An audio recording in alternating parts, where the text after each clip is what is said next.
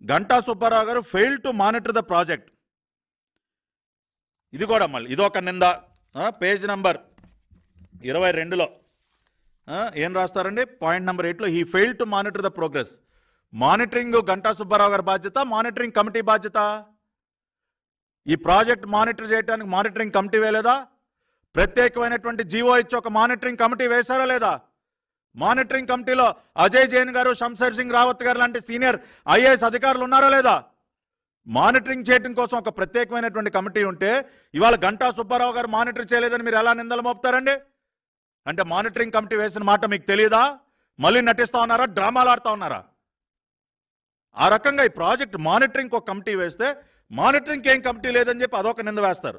కాబట్టి ఈ రకంగా మీరు ఏ అంశం తీసుకున్నా రెండు వందల నలభై ఒక్క కోట్ల రూపాయలు ఏదో అన్యాక్రాంతం అయిపోయాయి మింగేశారు అన్న మాట నూటికి నూరు శాతం అవాస్తవం.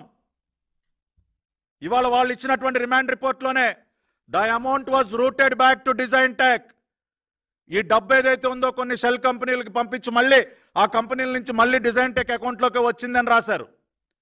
అదేవిధంగా డీజీజీఏ పూణే వాళ్ళు ఇది పన్ను ఎగవేతకి సంబంధించినటువంటి అంశం.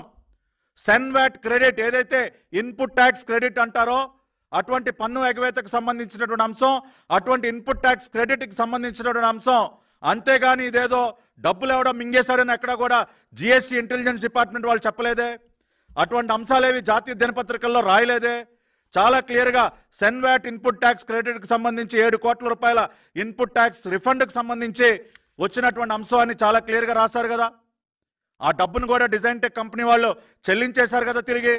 ఇంకా ఇక్కడ దీనిలో అవినీతి ఎక్కడుంది? పన్ను ఎగవేతకినో డబ్బులు మింగేయటానికి తేడా తెలీదా మీకు? AP skill state skill development కార్పొరేషన్కి డిజైన్ టెక్ వాడు పన్ను ఎగవేస్తే వాళ్ళకి దీనికి ఏం సంబంధం? అది ఇన్కమ్ ట్యాక్స్ జిఎస్టీ డిపార్ట్మెంట్ వాళ్ళు చూసుకుంటున్నారు. వాళ్ళు ముక్కుపిండి వసూలు చేసుకుంటారు. వీళ్ళకే సంబంధం సార్? వాళ్ళేదో పన్ను ఎగవేయటానికి ఏదో నాలుగు కంపెనీల నుంచి ఏదో ఇన్వాయిస్లు సృష్టించుకుని ఏదో ట్యాక్స్ క్రెడిట్ పొందడానికి ఒక ఏడెనిమిది కోట్ల రూపాయలు లబ్ధి పొందడానికి చేసినటువంటి ప్రయత్నాన్ని అవినీతి చేశారని ఏ రకంగా మీరు లింక్ చేస్తారో? ఈ డబ్బు ఏమన్నా సుబ్బారావు గారి అకౌంట్లోకి లక్ష్మీనారాయణ గారి అకౌంట్లోకి వెళ్ళినట్టు మీరు ఏమన్నా రాశారా? మీ దగ్గర ఉన్న ఆధారాలు ప్రొడ్యూస్ చేశారా? దీనికి సమాధానం చెప్పండి. రెండోది ఫిజికల్ వెరిఫికేషన్ మేము చేయలేదు. చేసే అవకాశాన్ని కూడా మాకు కల్పించలేదని చెప్పి ఫారెన్సిక్ ఆడిట్ రిపోర్ట్లో రాశారా లేదా? ఫిజికల్ వెరిఫికేషన్ క్లాజ్ని తొలగించారని కూడా రాశారు. ఎప్పుడైతే మీరు ఫిజికల్ వెరిఫికేషన్ క్లాజ్ని తొలగించారో అక్కడే మీ కుట్ర బయటపడింది. ఫిజికల్ వెరిఫికేషన్ చేస్తే మీరు ఈ రకంగా బురద జల్లలేరు కాబట్టి ఫిజికల్ వెరిఫికేషన్ క్లాజ్ని తొలగించి ఫారెన్సిక్ ఆడిట్ చేస్తున్నటువంటి ఆడిటర్స్తో ఫిజికల్ వెరిఫికేషన్ చేయించకుండా మీరు అక్కడికి సిమెంట్స్ వాళ్ళు డిజైన్ టెక్ వాళ్ళు ఏ రకమైనటువంటి సాఫ్ట్వేర్ హార్డ్వేర్ సరఫరా చేయలేదని మీరు అలా చెప్తారో దానికి సమాధానం చెప్పండి. అదేవిధంగా అగ్రిమెంట్ గురించి మాట్లాడుతున్నప్పుడు మరి డిసెంబర్ నాలుగో తేదీన రాసుకున్నటువంటి అగ్రిమెంట్ ప్రేమచంద్రారెడ్డి గారు సంతకం పెట్టినటువంటి అగ్రిమెంట్ మరి దీని గురించి మీరు ఎందుకు మాట్లాడలేదు ఈ అగ్రిమెంట్లో చాలా స్పష్టంగా పది ప్రాజెక్ట్ కాస్ట్లో పది శాతం మాత్రమే రాష్ట్ర ప్రభుత్వ బాధ్యత మిగతాది సిమెంట్స్ వాళ్ళు వాళ్ళు పెట్టుకోవాలని చెప్పి అగ్రిమెంట్లు ఉందా లేదా? దీని గురించి మీరు ఎందుకు మాట్లాడలేదు? సమాధానం చెప్పండి. వాల్యుయేషన్ సరిగ్గా చేయలేదని మాట్లాడారు మీరు రిమాండ్ రిపోర్ట్లో. Central institute of tool design వాళ్ళు వాల్యుయేషన్ చేశారో లేదో మీరు సమాధానం చెప్పండి.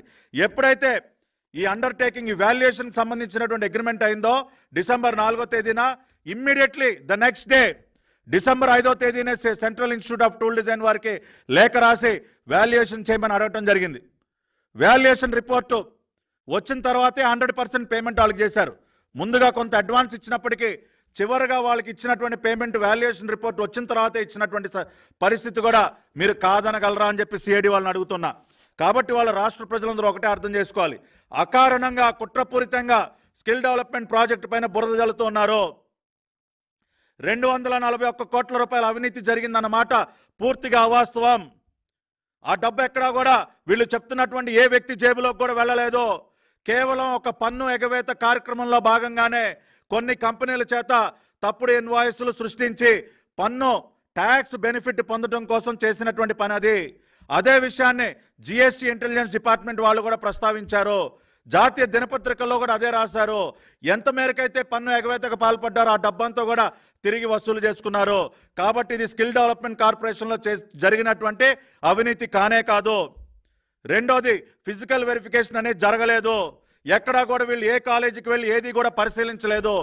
ఏమీ పరిశీలించకుండానే ఫిజికల్ వెరిఫికేషన్ చేయకుండానే మరి వీళ్ళు ఏదో జరిగిపోయిందని చెప్తున్న మాట ఎంతవరకు కరెక్ట్ అని కూడా ప్రశ్నిస్తున్నాం. అదే అంశాన్ని ఫారెన్సిక్ ఆడిట్ రిపోర్ట్లో కూడా రాశారు. మూడోది అగ్రిమెంట్ గురించి ఏదైతే మాట్లాడుతూ ఉన్నారో అగ్రిమెంట్ ఏదో సరిగ్గా చేయలేదని గంటా సుబ్బారావు గారు ఏదైతే చెప్తున్నారో మరి తర్వాత దానికి ఆ అగ్రిమెంట్ కొనసాగింపుగా చేసినటువంటి ఈ అగ్రిమెంట్ గురించి ఎందుకు మాట్లాడలేదు? ఈ అగ్రిమెంట్ పైన సంతకాలు అయిన తర్వాతే కదా పేమెంట్స్ జరిగింది.